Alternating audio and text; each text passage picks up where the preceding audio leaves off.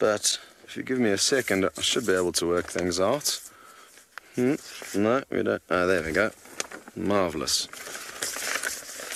So, what I'd like to do is try and show you guys what's going on, where we are, how everything works. So, Ferg, if you don't mind zooming in a little bit.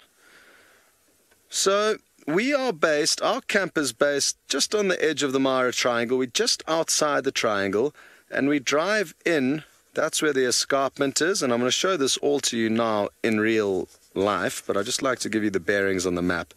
We drove around crossed the Mara Bridge over there. You can see a tiny little bridge. This is the Mara River flowing down. We crossed that bridge, then into the Mara North Conservancy, and then be before we went live with the show, I was driving down this road over here, and then we've just passed through Musiara Gate. So the plan is to now head towards the Talek area. This is where most of the... Would you guys mind changing channel? Um, this is where we're going to be looking for five male cheetah. And this is the Mara National Reserve. This is the Mara Triangle. And all of surrounding it. We will slowly make our way eventually to cross at the Purungat Bridge, which is right on the Tanzanian border, right in the south of the Masai Mara. So we're going to be doing a full traverse of the Mara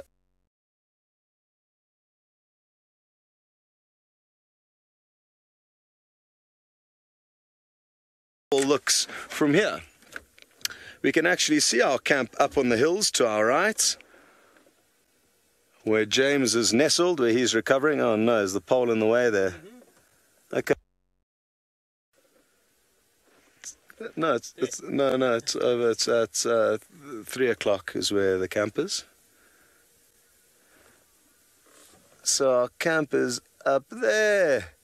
There you can see FC, that black window is James's migration control, and FC is just to the right of that. So we traveled along the escarpment all the way, and then eventually dropped down, crossed through the Mara River, and made our way back to where we are. That's Green Patches, a well-known area called the Marsh, where very well-known of Pride of Lion spent time, called the Marsh Pride.